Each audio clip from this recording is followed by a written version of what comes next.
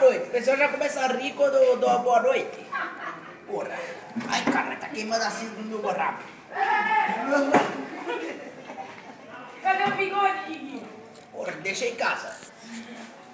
Antigamente, quando eu comecei a fumar que eu era mais bonecote, era só cigarro de palha. Cigarro de, de, de, de normal. Hoje em dia não, hoje em dia tem cigarro que você aperta. Já sai aquela bolinha, já vira bem. Porra, é cigarro bom pra caralho. Aí de resto tá tudo legal. E a mulher começou, antigamente não. Antigamente ela lavava a, a perereca com sabor de coco. E aí tu fica 15 anos com a mesma mulher, aí tu acostuma com, com o gosto de coco. E aí começa a passar aquele Protex.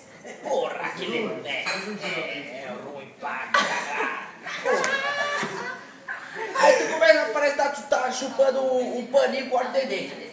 Porra, aí já não dá, já perde a graça. Fui, fui no banheiro. Comecei a dar, dar aquela barrigada no banheiro. Primeiro que eu comecei a tomar banho. Comecei a tomar banho, aí, porra, deu a vontade de dar uma cagada. Sai do banheiro, tudo molhado, a já fica brava. Que suja, a sujo a porra do banheiro, tudo. Tudo.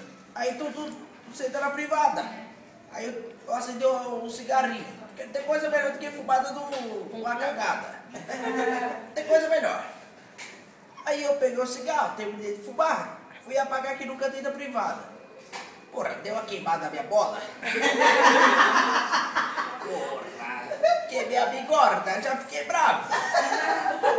Mas de resto, de resto tá tudo legal.